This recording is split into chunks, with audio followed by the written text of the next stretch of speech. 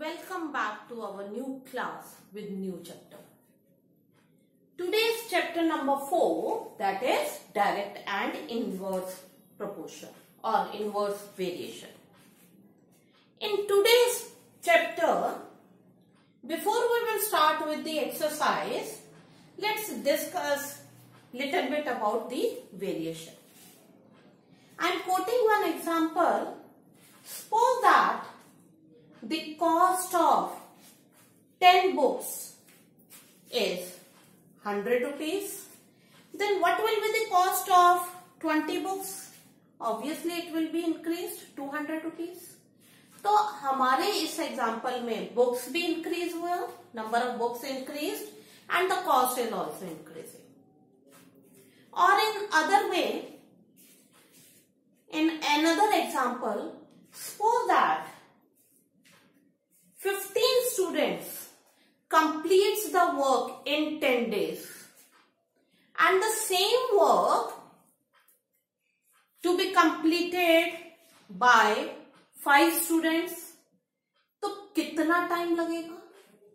तो इस एग्ज़ाम्पल में ज़्यादा टाइम लगेगा इजंट इट तो यहाँ पर number of student gets decrease and the number of days gets increase इन दोनों टाइप के एग्ज़ाम्पल में,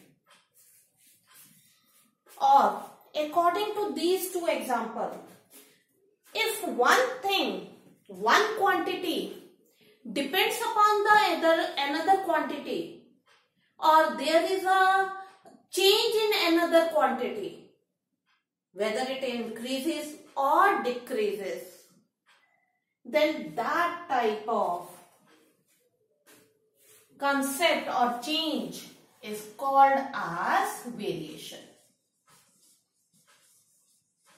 अगर एक क्वांटिटी दूसरे क्वांटिटी पे डिपेंड हो रही है और इंक्रीज और डिक्रीज हो रही है then that is called as variation okay now variation is of two type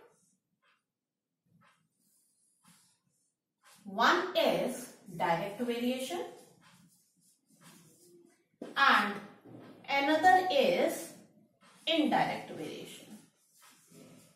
Indirect variation. First of all, let's talk about the direct variation.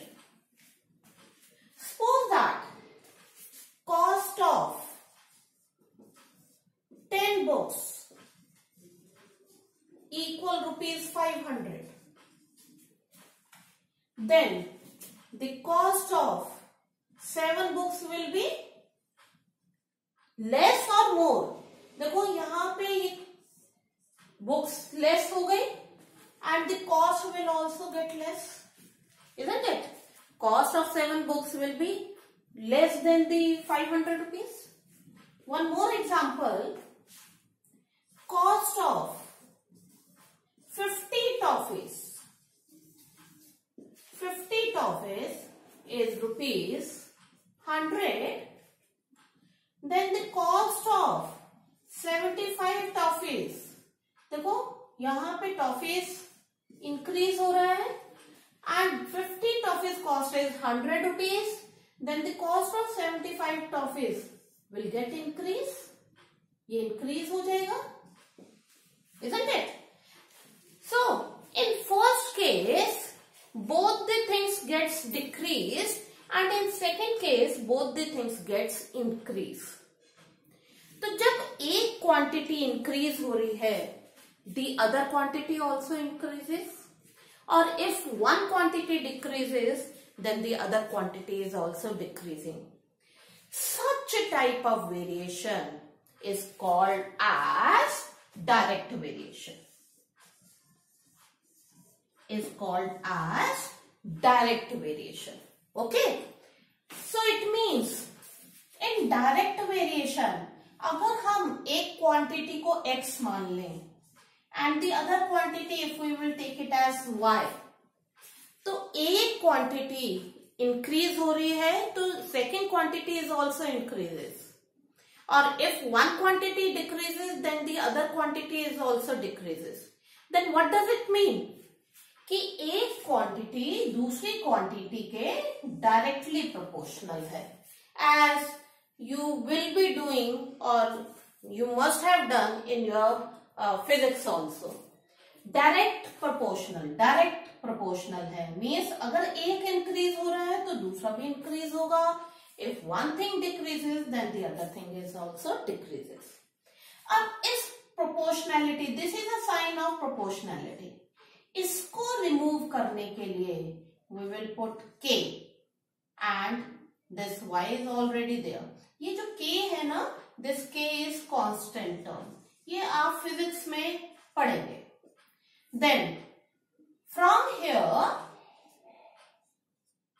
X इसको इसके नीचे ले जाइए. X upon Y is K ध्यान रखिएगा. Indirect variation X upon Y equal K वो कैसे आया?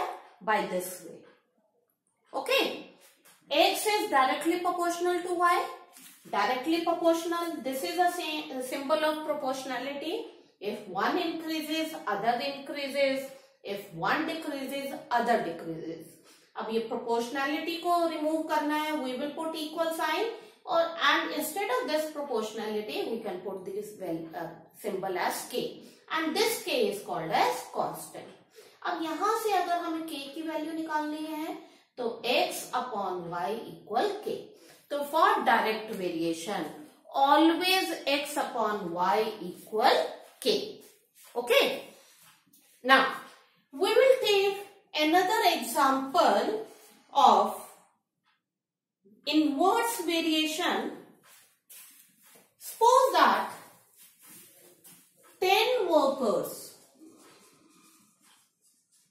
completes the work in 50 days. In 50 days. 10 workers completes the work in 50 days.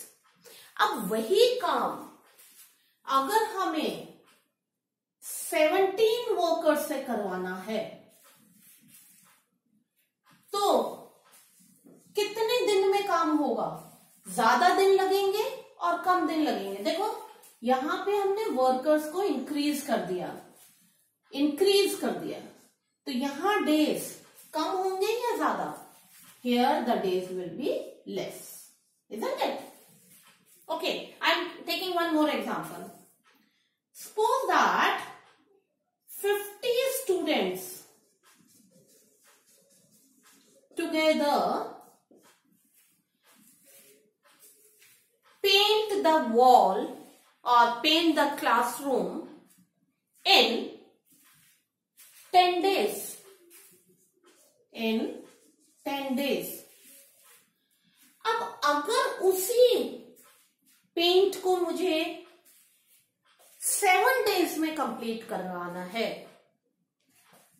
तो व्हाट शुड आई डू क्या मुझे स्टूडेंट्स इंक्रीज करने पड़ेंगे? इजंट इट तो अगर मुझे वो काम सेवन डेज़ में कंप्लीट करवाना है पेंट का सेवन डेज़ में तो number of students I have to increase तो इट मीन्स देखिए नंबर ऑफ़ स्टूडेंट्स को इंक्रीज करना पड़ेगा to complete the work in less day. Isn't it? One more example. Suppose that the speed of a car 25 kilometer per hour covers a distance or covers a distance in 10 minutes covers a distance in 10 minutes. Now, if I will or if driver increase the speed of a car as 35 kilometre per hour देखिए यहाँ पे ये increase हो रहा है तो वही distance कम टाइम में कवर होगा और ज़्यादा टाइम में होगा look at the example 25 kilometre में डिस्टेंस 10 मिनट्स में कंप्लीट हो रहा है। और अगर हम उसकी स्पीड 35 किलोमीटर कर दें then the time will be less isn't it speed बढ़ गई but the time will decrease तो सच टाइप ऑफ़ वेरिएशन जिसमें एक चीज़ इंक्रीज हो रही है and the other thing decreases और एक चीज़ डिक्रीज हो रही है and the other thing increases such type of variation is called as indirect variation is called as indirect variation it means एक इंक्रीज हो रहा है तो अदर थिंग डिक्रीजेस और एक चीज़ डिक्रीज हो रही है then the other thing increases so this is a direct variation now look over here indirect variation, sorry. Indirect variation, suppose that two quantities are x and y. अब जैसे मैंने example बोला, एक चीज़ इंक्रीज हो रही है तो दूसरी डिक्रीज हो रही है. It means these are inversely proportional inversely proportional means in direct variation में क्या था? वो डायरेक्टली प्रोपोर्शनल थे। बट इन इनडायरेक्ट और इनवर्स वेरिएशन इसे हम इनडायरेक्ट और इनवर्स वेरिएशन भी कह सकते हैं। Inverse inverse variation this is also written as inverse तो ये इनवर्सली प्रोपोर्शनल हो गया। एक इंक्रीज तो दूसरा डिक्रीज या पहली quantity decrease then the other quantity increase so this is a inversely proportional inversely proportional में वन अपॉन लिख देते हैं। Now same procedure to remove this inversely proportional sign we will put equal sign और यहाँ k लिख देंगे।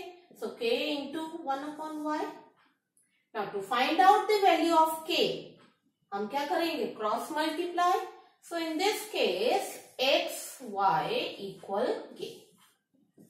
So in inverse proportional or in inverse variation, x into y equal k hai and in direct variation, x upon y equal k hai. I think आप इस concept से ये आपको clear हो गया होगा directly proportional means x is directly proportional to y and inverse proportional में x is inversely one upon inverse inverse मतलब उल्टा कर देना so one upon and instead of equal sign in both the case to put the equal sign आप k लिख देंगे and then you will find out the value of k so in both the cases the value of k is different it depends upon the uh, question और it depends upon the situation कि वो direct variation है या inverse variation है. Accordingly you will write k equal x upon y और k equal x into y the exercise related to direct and inverse variation, we will take it in next class. Thank you.